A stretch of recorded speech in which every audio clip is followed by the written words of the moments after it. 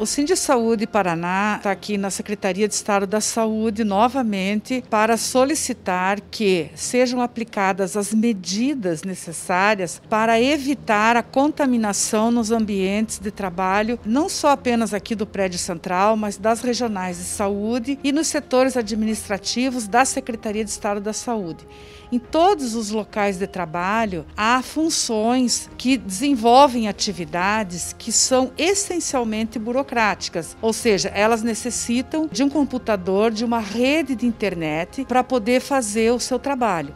Então, o que o Cindy Saúde está solicitando para a Secretaria de Estado da Saúde é que aplique nos ambientes de trabalho a mesma medida que está sendo adotada para a população em geral. Nós precisamos ter, no mínimo, dois metros de distanciamento de uma pessoa para outra num processo de trabalho que dura mais de oito horas. Nesse momento de pandemia, há intensificação no processo de trabalho então as pessoas geralmente ficam uma jornada de trabalho maior do que a normal em razão desta intensificação do trabalho. Ainda a situação de que o local para as refeições eles foram fechados para evitar que as pessoas ficassem próximas, porque são muito pequenos. Então, as trabalhadoras e os trabalhadores têm que fazer as suas refeições nas suas próprias mesas ou vão até o seu carro para fazer, porque no entorno da secretaria ou das próprias regionais não há restaurantes disponíveis para que essa refeição seja feita com segurança.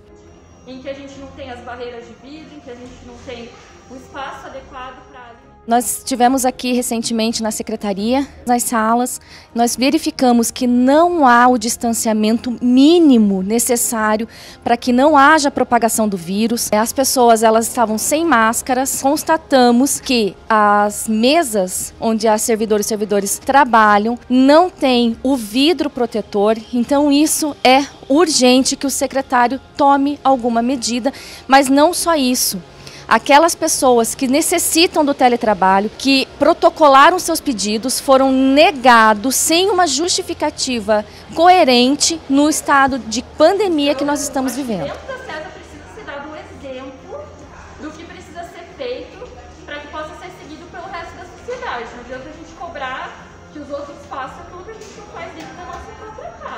Também tem a questão da vacina. Uma das justificativas do gestor é de que o prédio é, estando vacinado, recebendo a segunda dose, que os servidores então estariam protegidos da Covid. Isso demonstra que o próprio secretário da Saúde desconhece a propagação do vírus e como o próprio vírus ele se propaga. As pessoas moram com pessoas do grupo de risco.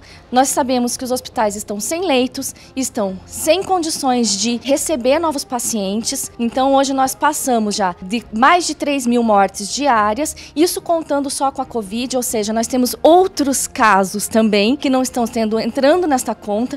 Então, os hospitais não estão conseguindo mais receber essas pessoas. Então, é muito sério. Então, assim, secretário, aquelas pessoas que podem fazer o teletrabalho, que fiquem nas suas casas, que desenvolvam os seus trabalhos de casa em segurança, porque o vírus, mesmo que a pessoa esteja vacinada, as pessoas podem estar transmitindo ainda esse vírus. Só para dar um exemplo da gravidade da situação, só no prédio central da Secretaria de Estado da Saúde já tivemos vários surtos de é, eh, Covid-19. Então, é mais do que necessário, é urgente que essas medidas sejam adotadas e que seja feito para aquelas funções em que há um sistema que não pode ser deslocado de um computador externo da secretaria, que seja feita a redução da jornada de trabalho com a mescla de teletrabalho e jornadas alternadas. Nós entendemos que essas medidas são fundamentais para que nós não tenhamos mais quadros adoecidos e tivemos recentemente a notícia de vários óbitos de servidoras eh, e de servidores da Secretaria de Estado da Saúde saúde, inclusive com acometimento né, da Covid-19 do alto escalão e da secretaria. Porque se nós fizermos uma estratégia de restrição social, de isolamento social, a gente consegue fazer com que, inclusive, a nossa categoria, a nossa base que atua na ponta, também possa trabalhar com mais dignidade, com mais tranquilidade e que só assim nós vamos conseguir fazer com que, gente, com que o vírus deixe de ser um problema de saúde pública.